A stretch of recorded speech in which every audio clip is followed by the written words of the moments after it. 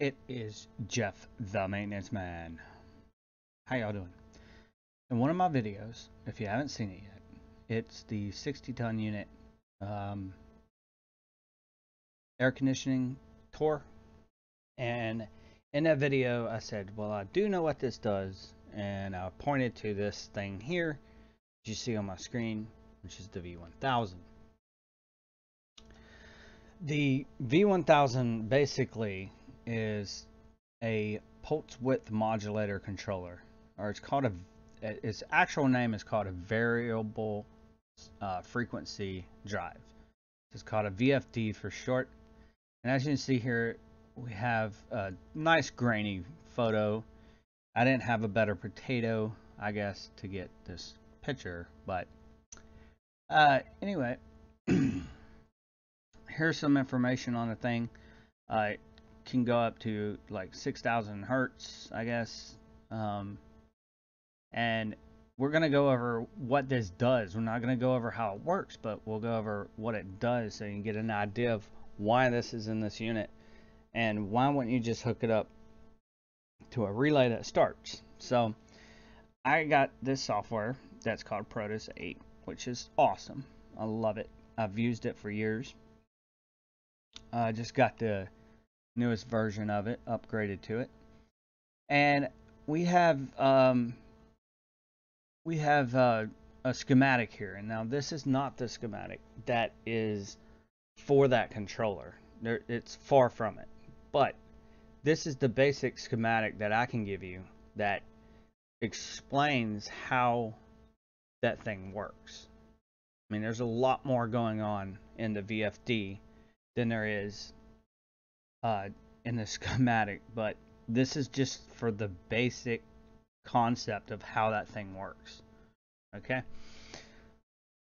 So, let's just go over real quick the schematic. Uh, so you kind of know, you can kind of follow me and and then you'll know what I'm talking about. Up here, this is nothing but uh, our clock for the chip. So this sets how fast the chip is running, and in this case, it's uh, it's one megahertz. Um, you got like two buffer capacitors and a uh, a uh, pull down resistor. Could be a pull up. I don't know. A one meg transistor, current limiting transistor, probably. So anyway, there's we don't even have to worry about that. That just controls the clock processes in the chip.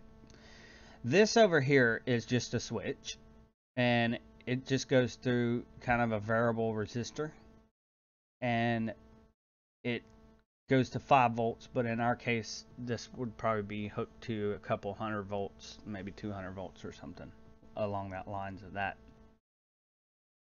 so we're just going to call this the thermostat area here Okay, your variable resistor is going to be your temperature up and down, which will then switch on uh, this switch, telling the microcontroller, hey, you just switched on the switch and turn on the motor.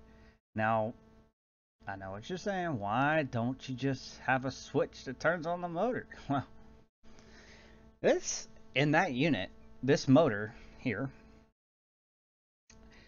is 10 horsepower if you hook this switch to even a relay and then from the relay to the motor, it'd probably melt the it'll probably melt or burn out the relay. It would have so much inrush current is what it's called that it would flip the breaker off, melt wires, burn up wires, whatever. The reason this happens is because this is a disk of magnets basically and well, when they're electrified, they're magnets. So you have 10 horsepower, you plug that in, right? Well, this thing is at a standstill, so it's got to get going. So what this whole circuit does here, and what that VFD does, this thing, is it it pulses the electricity to the motor let's see what that looks like uh, in the schematic. So it's off right now. The motor's not spinning. keep an eye on these two test points. This um, I'll, I'll explain real quick before I turn this on. Right here, oscill oscillator number one and I mean oscilloscope number one and oscilloscope number two. So oscilloscope number one, the program within this chip is going to start at a high. So it's going to turn on and then the the microchip will take over and say, I don't want you on. I want you on uh, for this period of time, this period of time, this period of time, and get longer, longer, longer pulses till the motor gets up to speed.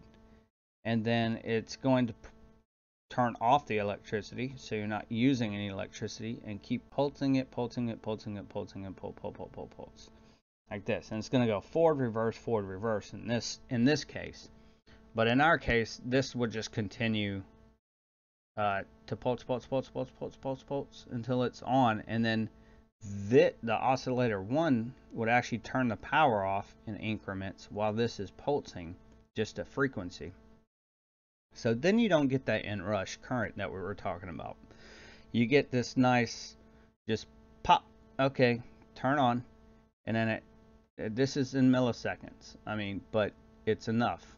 That's all you need.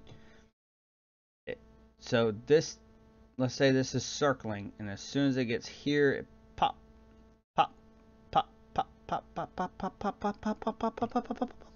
So it gets faster and faster and faster, and then it gets the motor up to speed, and then after the motor's up to speed, all you need to do is pop it every maybe second or so, because the momentum of the motor spinning will keep it turning. So there's no point in having electricity to a motor constantly if you can just put electricity just every once in a while.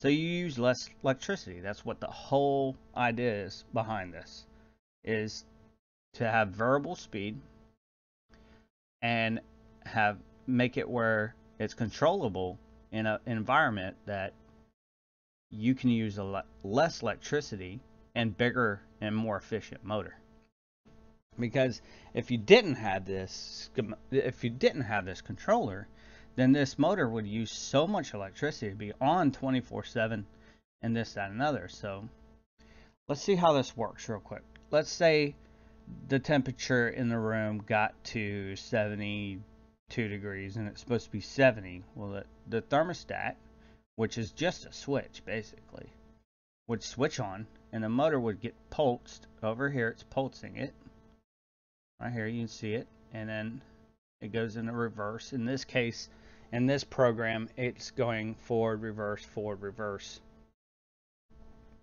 So they turn on on this to bring it backwards and this one pulses it back forward. Just to give you an idea how that works. Now the display let's just not even worry about that. That's kind of measuring the RPMs or something but who cares Um, so when it when it's up to temperature, it just simply goes off, and the motor winds down under its own momentum, further giving you just that tiny little boost of cooling or heating, whatever whatever the unit may be in. So this basically is a really more efficient way of running a motor. You could probably put an oscilloscope on this. Now I can't do it right now, but you could probably put an oscilloscope on this and see the current that or a multimeter and see the current that's going in there and um in this case you would see just tiny bits of current but the motor requires, let's say the motor requires 20 amps to turn on. All you got to do is pulse that 20 amp just for a fraction of a second and it'll spin the motor. Do it for another fraction of a second. It'll spin the motor again and spin it, spin it, and then get your pulses going. It's like pressing the power button on something and just getting faster and faster and faster with it and you'll see the motor will start spinning faster. So basically that's all it's doing. This is this microcontroller is your finger pushing a button that is putting pulses through here. These little doodads here are darling transistors and what they're doing is taking the load off of the uh, microcontroller here which is an mc68hc118 a8, Alpha 8. So, anyway, so one's responsible for the reverse and one's responsible for the forward.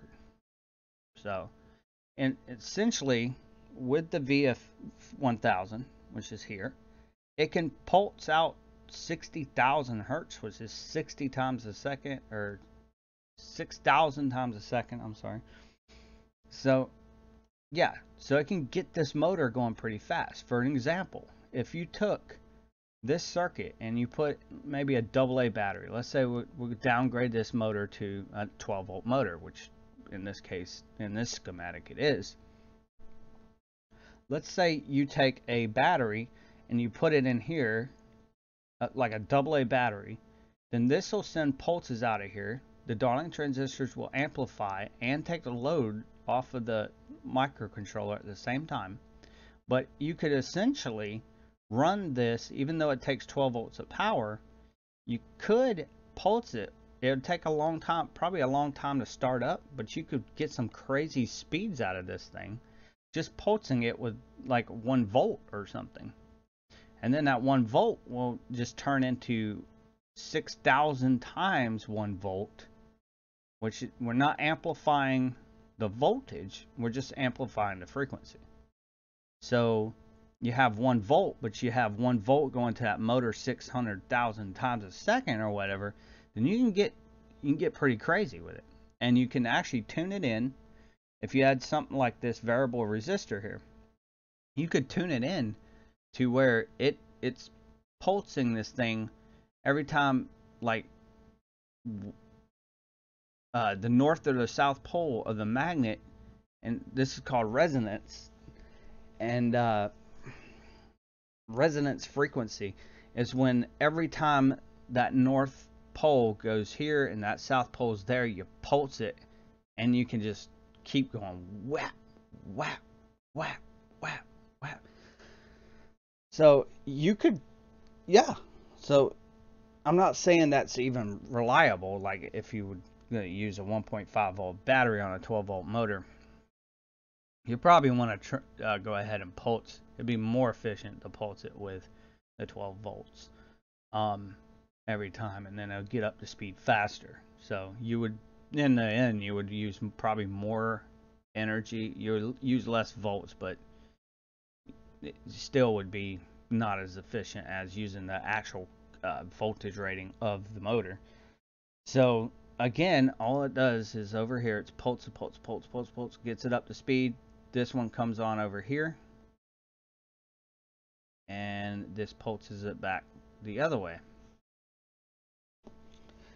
pretty cool little device, actually. I had to do a little bit of research to figure out what that thing was when when it first um, when it first when I first saw it. I was like, "What is this thing?"